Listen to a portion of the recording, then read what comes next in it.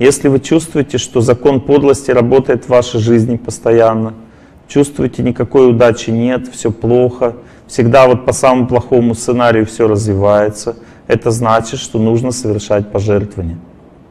Если вы чувствуете, что не хватает чего-то в жизни, чтобы дало силы, там парень полюбил, раз, другая увела, на работу вроде устроился, не взяли, но что-то не хватает, вроде бы все нормально, раз осечка, раз осечка, значит иди и жертвуй. Жертвуй пищу нищим, жертвуй денежки в храм, жертвуй животным покушать, желай всем счастья, это тоже пожертвование. Живи, жертвуя что-то. Если ты ничего не жертвуешь, значит удачи в твоей жизни не будет. Удача приходит к тому, кто жертвует. Жертвовать означает от, отрывать от себя родимого. Отрывать. Понимаете? От себя родного что-то оторвать надо. Тогда удача будет приходить. Если человек учится быть честным во всем, допустим, люди часто говорят, Олег Геннадьевич, мы разошлись. Когда человек бросает кого-то близкого человека, он говорит, мы разошлись. А когда его бросают, он говорит, меня бросили. Это называется нечестность. Когда человек честным становится, он становится проницательным. Если вы хотите чувствовать события, понимать, что происходит, станьте честным. Честным означает, надо признаваться, что на самом деле, а не что ты хочешь. Бросил так, скажи себе, бросил, хотя это тяжело. Нагрубил, разозлился, скажи, нагрубил, разозлился. Плохо что-то сделал, признайся себе в этом. Если не признаешься, не поймешь, что происходит. Проницательность теряется у тех, кто себя что-то там выдумывает, оправдывает себя. Пытается доказать себе, что я хороший. Бог же не против того, что ты хороший, Он просто тебе говорит правду. Говорит, вот так Он не о тебе, а о ситуации говорит. Вот в этой ситуации ты поступил плохо. Бог в сердце, совесть говорит. Прими это, Он не то, что Он ты плохой, Он не говорит тебе, что ты плохой. Просто вот ты здесь плохо поступил, прими это. Человек принимает, проницательность усиливается. Не хочет принимать, становится слепым. Все. Такая система. Если вы по жизни должны стать старшим, если вы должны стать отцом, матерью, руководителем, любым старшим, то человеку нужно только одно качество, чтобы Бог позволил быть старшим. Это сострадание. Что такое сострадание? Означает, позволь людям ошибаться, быть глупыми, вести себя неправильно и делать ошибки. Позволь им. Вот, допустим, мать ко мне подходит говорит, Олег Геннадьевич, ору на своего ребенка постоянно, кричу, сама себе не рада. Я говорю, есть только одна причина. Она говорит, какая причина? Ты не позволяешь ему быть глупым. Считаешь его умнее, лучше, чем он есть на самом деле. Значит, ты старшим никогда не будешь. Да, и человеку возможность быть глупым. Это хорошо, это нормально. Вот, допустим, собака гавкает, вы же не возмущаетесь? Она глупая. Мы принимаем это, да?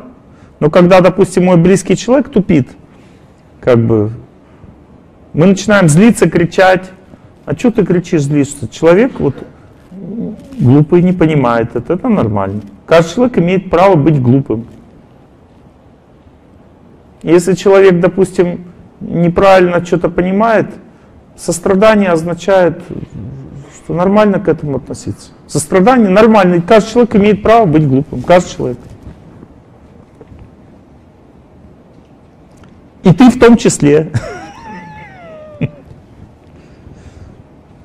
Бог тебе тоже тогда даст старших, если ты людям позволяешь ошибаться, делать глупости. Бог тебе даст тоже старших, Он тебе показал, покажет твои глупости старший.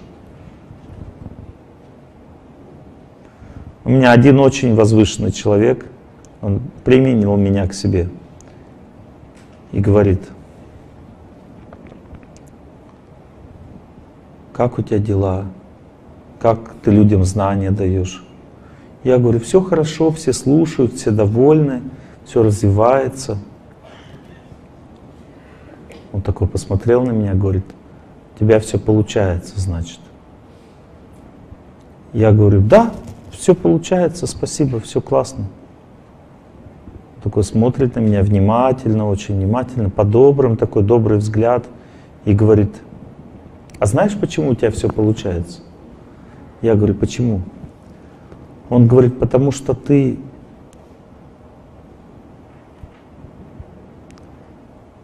из ангелов пришел на землю, из ангелов. У тебя божественная чистота есть внутри. Я такой смотрю на него, не пойму, чему он клонит.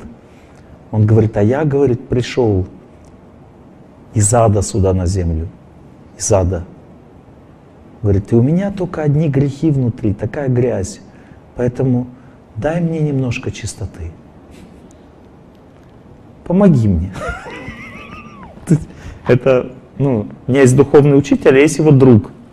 Это его друг, который как бы... И я, я, когда он начал так говорить, я понял, что он меня просто вот, ну, вывернул наизнанку всего. Я-то знаю, что это за человек. То есть он просто стеклянный, чистый, понимаете? И он говорит, я грешник, говорит, я из ада пришел, а ты ангел, поэтому у тебя все получается. Он меня так научил просто вообще, потрясающе. И при этом он по-доброму очень говорил. Он со мной шутил. Он говорил по-доброму, шутил, потом он еще со своим другом, они вместе в другой раз были. И я подошел к ним, и он своему другу говорит, видишь, вот этот человек очень возвышенный, мы должны у него учиться.